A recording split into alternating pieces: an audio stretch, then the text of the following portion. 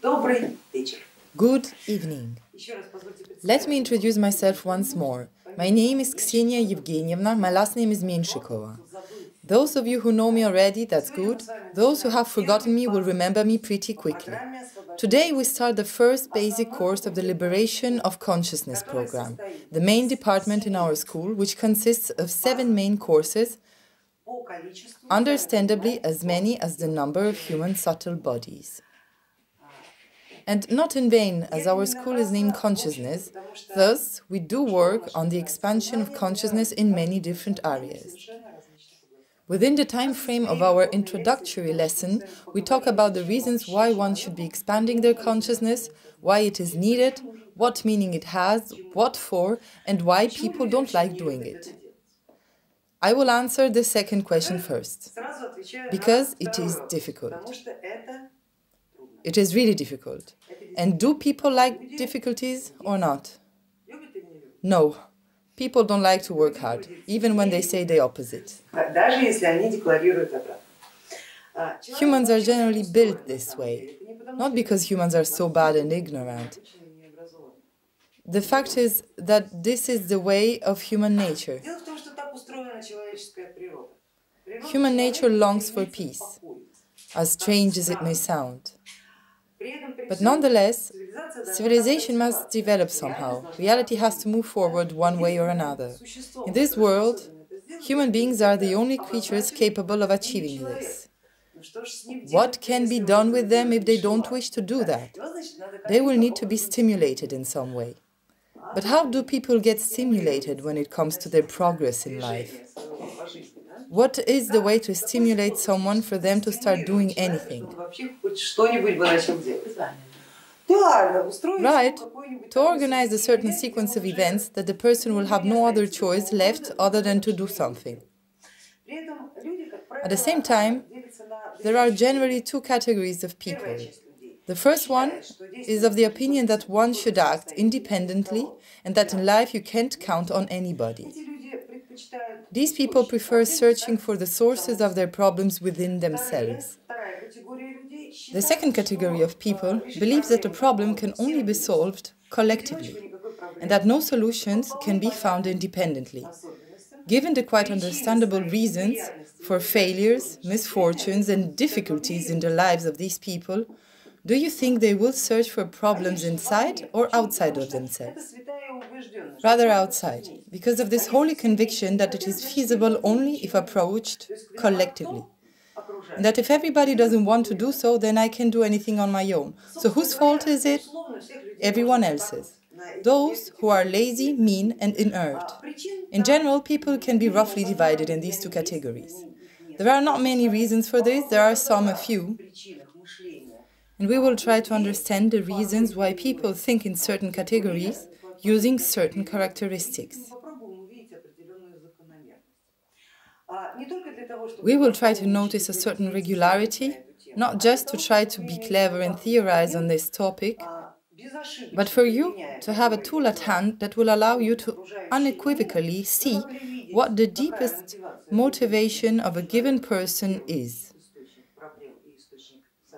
Namely, where does he or she look for the source of their problems and the source of their solutions, within themselves or outside? And as a consequence, we will not place unrealistic expectations on them because the given person will not meet them. And then it will be you who will be left with the problem, with the loss, not them, because it was you who had certain expectations.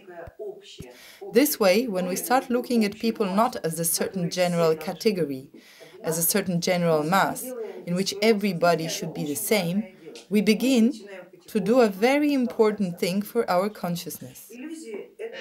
We slowly start to get rid of illusions. Illusions are a terrible thing in our world, especially this world we live in that is built upon illusions. All of reality is built on illusions.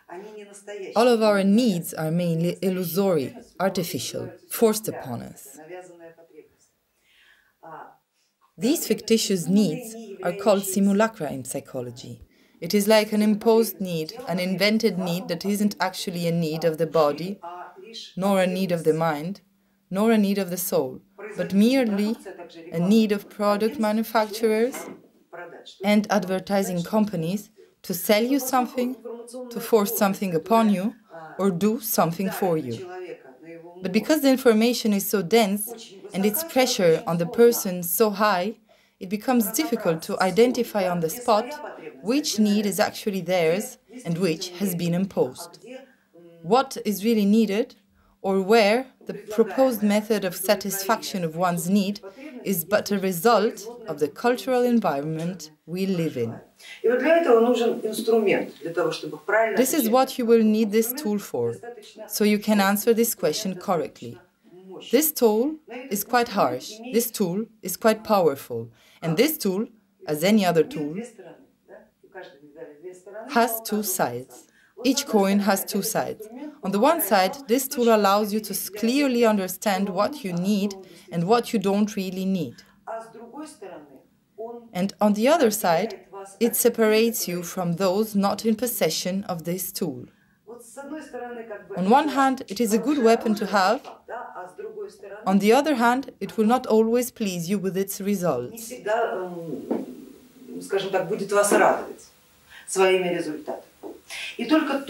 And only those capable of seeking the problems within themselves will be able to use this weapon, this tool, worthily and rightly, namely without ever renouncing it.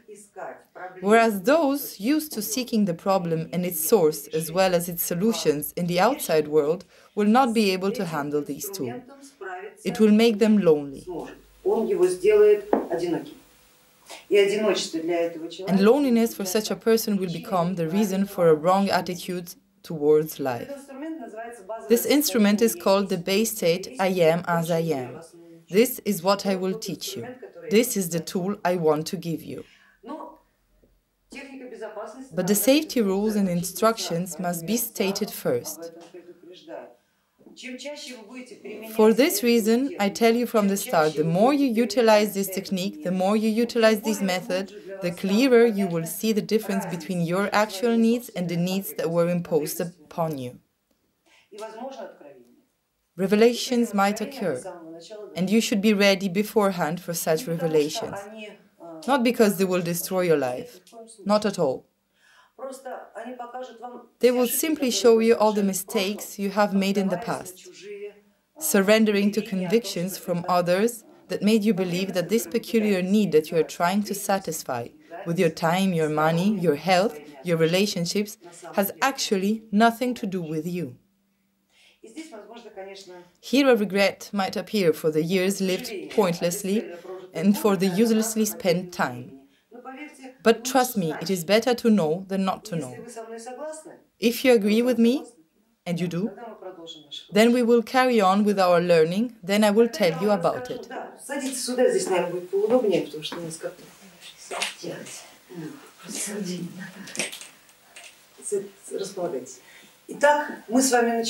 So we will start by trying to understand what consciousness is and why one should be expanding it. Those of you who have read my books and have possibly listened to some of my lectures on the internet know that we work with the consciousness by roughly dividing it into seven levels.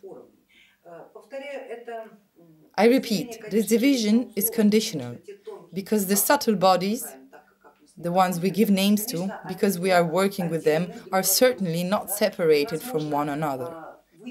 It is impossible to pick each one of them out as a distinct substance and distinctively work with them that way. Nonetheless, we do conditionally separate them according to one parameter that allows us to do so. This parameter is a different combination of energy and information. And before I tell you how these energo-informational processes, namely the partition of energy and information, take place in the subtle bodies, as judicious people who hear words and are used to unpacking them in our consciousness in a certain way, we have to agree upon the terminology. Therefore, the first thing we will do is agree upon what we mean by the word energy and what we mean by the word information. This way we avoid incidents, because it might be that we think about the same things, but it also might be that we think about totally different things. So let's discuss this topic. Итак, давайте подискутируем на эту тему немножечко, да, что такое энергия? What is energy? It is a common word, we use it so often. An energetic person, energetic. What does this mean? Power, absolutely right. A certain potential. Let's brainstorm. What more ideas do we have? They move, they are active. In other words, they have power for movement. We say of an energetic person that they don't just have power, they apply it and use it in the outer world. So let's conditionally agree that energy is power, just power. Positive energy, negative energy, or any other kind of energy, these are details that just characterize power, not more dark, light, let's leave this aside. Just power. Now let's move over to information. Let us try to understand what information is. Let's pull out of our mind all we know about it. Inner knowledge, good, more.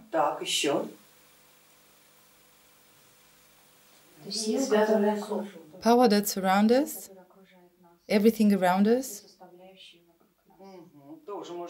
we can say so as well. Give me more.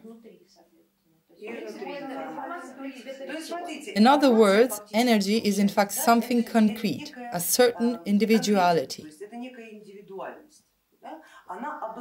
It is defining, it helps us distinguish one thing from another or unite one thing with another.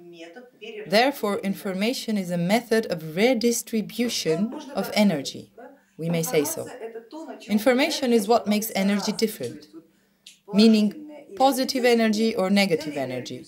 You take energy, put it together with information, and it becomes positive or negative. Such is information. It has allowed us to divide the energy.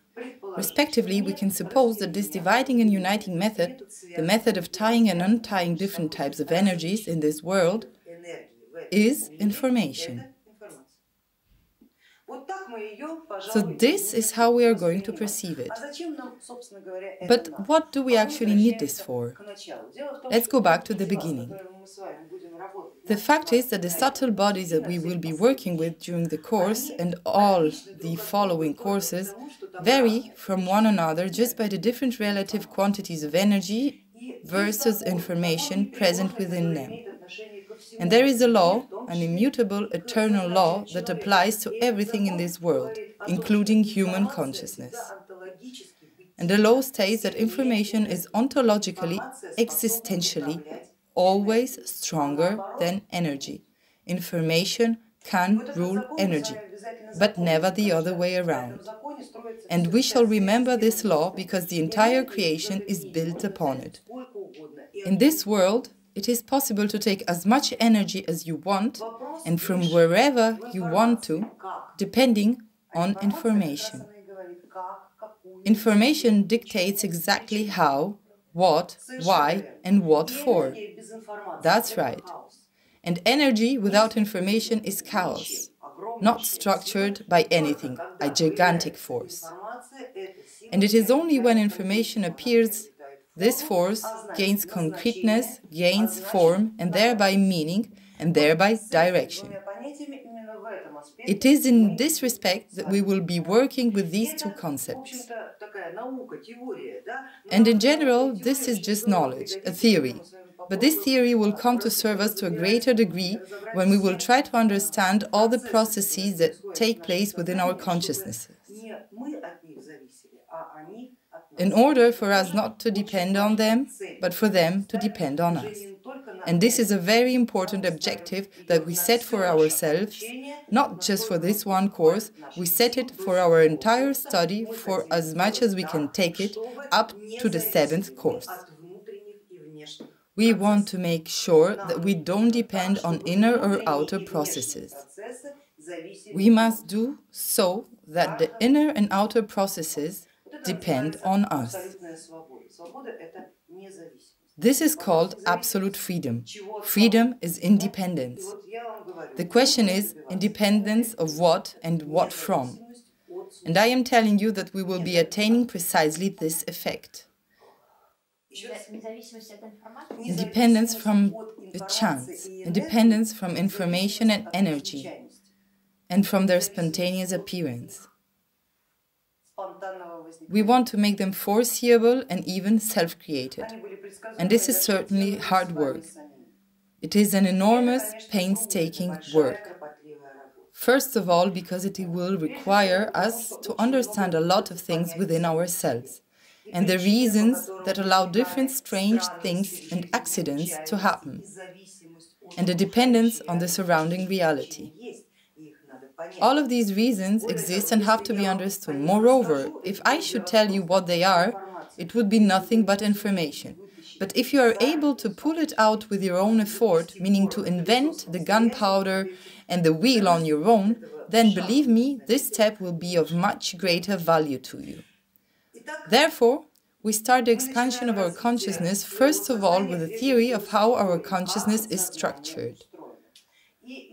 And let's repeat once more that we distinguish seven subtle bodies differentiated just by the conditional combination of energy and information within them.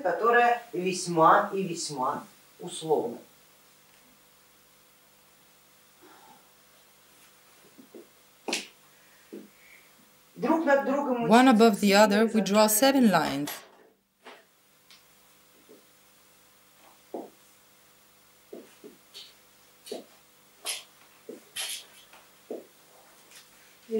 And start naming them from the bottom. The lowest line will be the physical body. This is the first level of our consciousness, and strangely enough, the physical body is indeed a part of our consciousness.